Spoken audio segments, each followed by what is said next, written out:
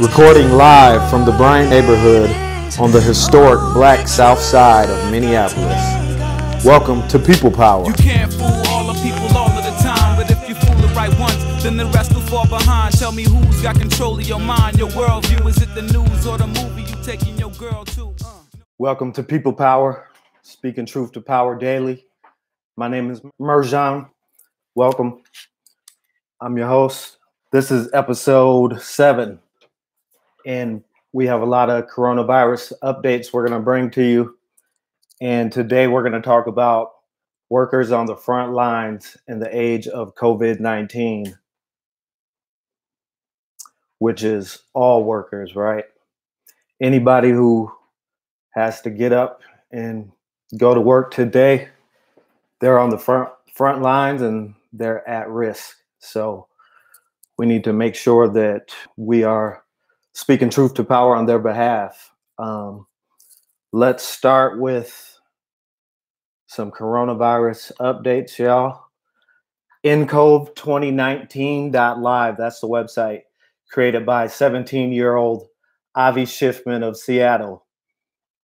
Right now, the global coronavirus pandemic, uh, we have 418,854 people around the globe confirmed, and we have 18,600 600 people deceased from the coronavirus.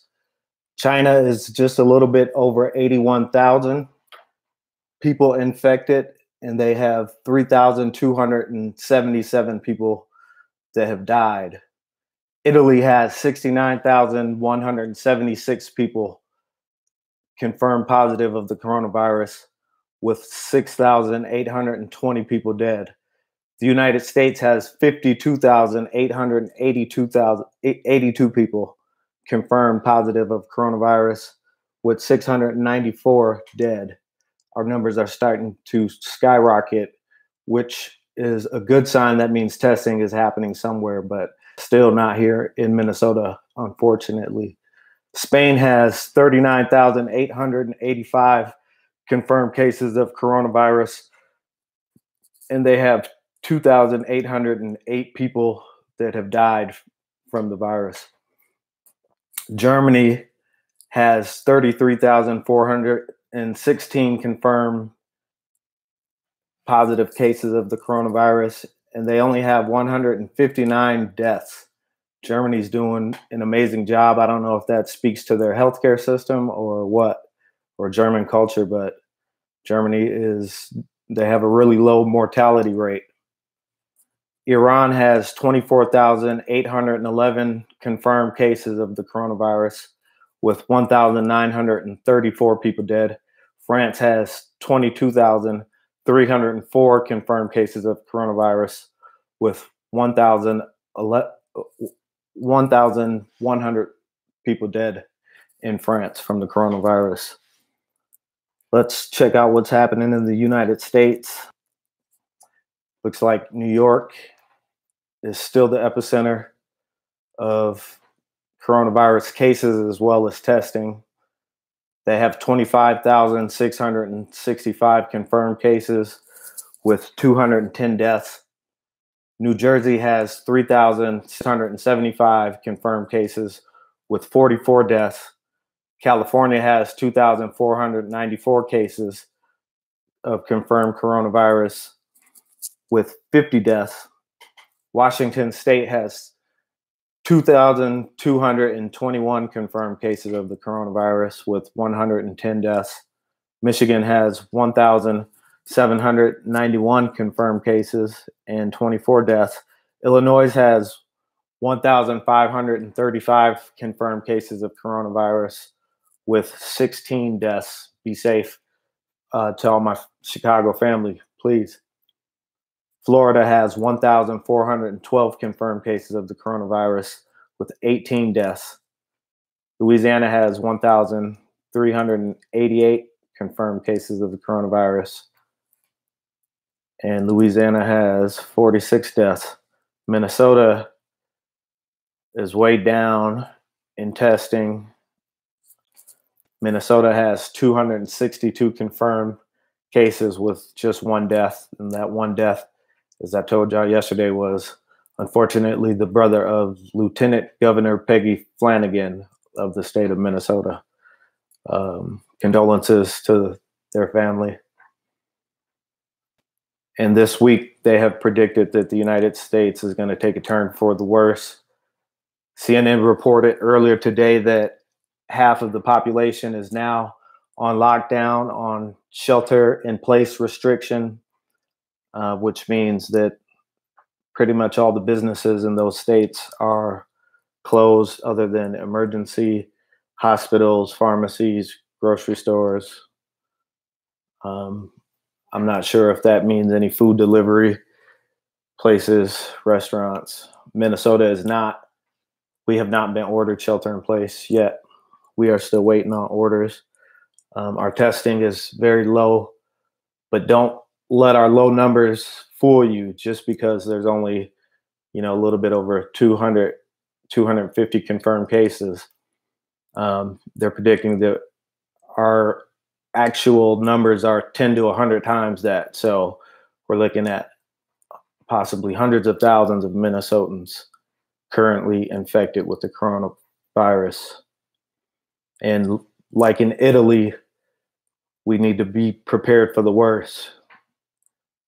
Yesterday, they reported that there was, again, um, near 800 deaths in Italy in one day. The United States, um, we have not even begin to see the worst of things. So let's take this serious. And with that said, let's talk about workers. Uh, there's a lot of businesses that are still open. Unfortunately, businesses that do not need to be open. I was just uh, rapping with my neighbor who uh, he works at a plant and they build HVAC units, and his company has been able to finesse to get them to keep working under uh, emergency um, personnel status because sometimes their clients are hospitals, um, but not necessarily right now. Uh, and of course, you know these companies only care about profits. So my, you know, my neighbor, he knows he's at risk. You know, shout out to all the workers that, you know, still got to make ends meet, uh, and unfortunately, are put at risk, which is everybody right now. Everybody who's still working. My mother, she's a flight attendant, and unfortunately, you know, she's still working. I don't believe she's flying much, um, but um, when she does, she's at risk. Um, shout out to all the, you know, healthcare workers out there. Shout out to all the grocery store workers out there. Shout out to all the restaurant workers who are still feeding people, delivery drivers, everybody who's at risk, um, who's putting their their life at risk to make ends meet and to provide a service for the rest of us salute to you. And, you know, let, let's talk for a few minutes about employers who refuse to pay their workers to stay home um, and are putting the whole public at risk by doing so by making their employers their employees go to work every day I got a phone call last Friday from a friend. She had recently talked to some angry folks, directors who work for Minneapolis parks. Right now, all the park and rec centers are closed throughout the city. Yet, park staff, part time park staff, are being directed to keep working, to show up and clean the facilities which is just busy work, right? Granted, these part time workers are not unionized, they're part time without benefits. A lot of them are younger, uh, younger staff. Uh, some are single parents.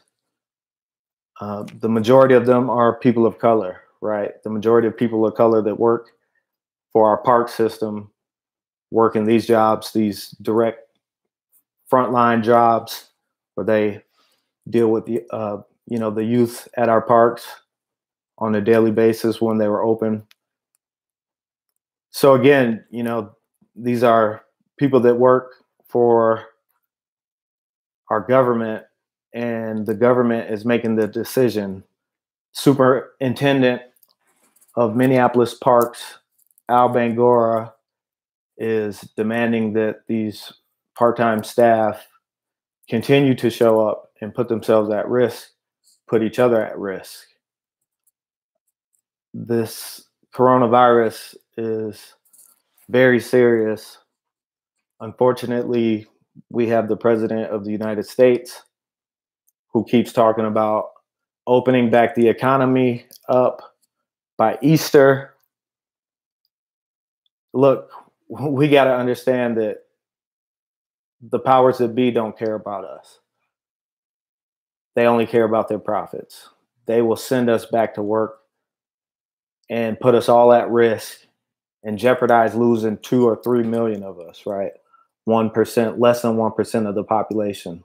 They're will, willing to sacrifice us for their profits, right?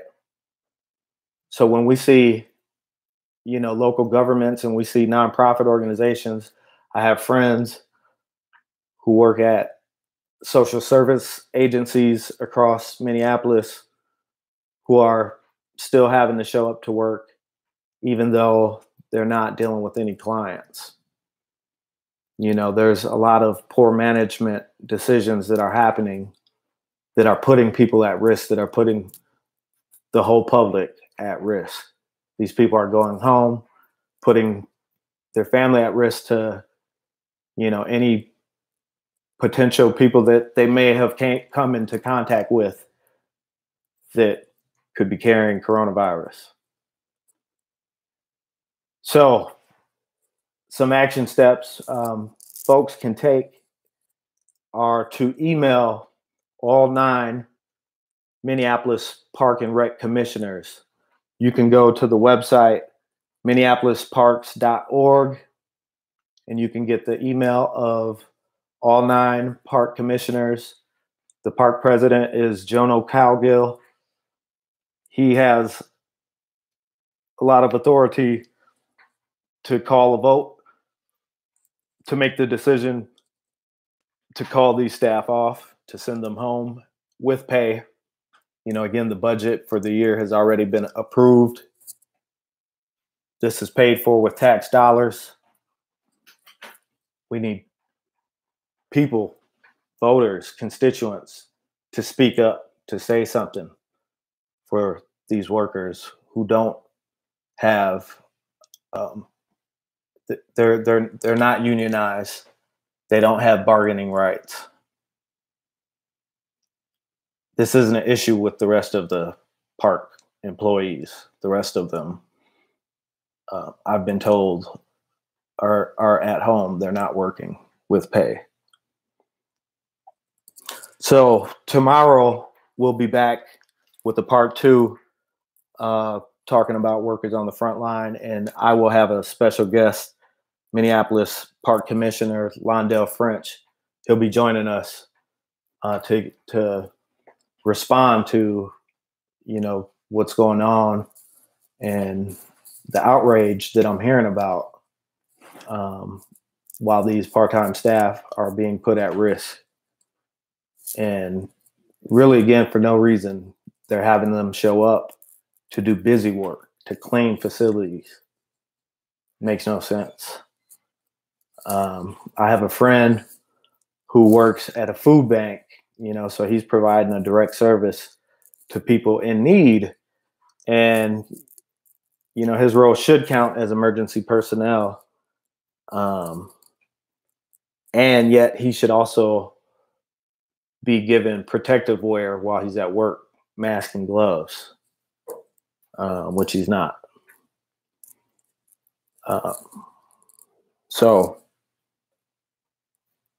I'm still seeing transit workers, bus drivers driving around without masks on, without gloves on. This is a pandemic. Um, yesterday, they were talking about this on the news. They said, you know, this virus can live on surfaces for days, and you can come and touch the surface days after somebody else who was infected, and you can pick up the virus that way. This thing, it sounds like the science is still out about the coronavirus. You know, it sounds like it's still living in the air longer than they originally originally expected. And unfortunately, Donald Trump is playing with people's lives. You know, again, the the corporate class they're breathing down his neck to send us to our deaths, to work, you know, to make them profits. You know, I don't give a fuck about Wall Street. I don't give a fuck about shareholder profits. You shouldn't either. This is when workers have the most leverage. We can shut this whole economy down permanently. You know, we've we've been dreaming of a general strike, a nationwide general strike, you know, for as long as I've been protesting, going on two decades. And I know activists much, much older older than me have been dreaming of that. Now is the, the time we can shut this shit down now's the, the time to strike, to rent strike.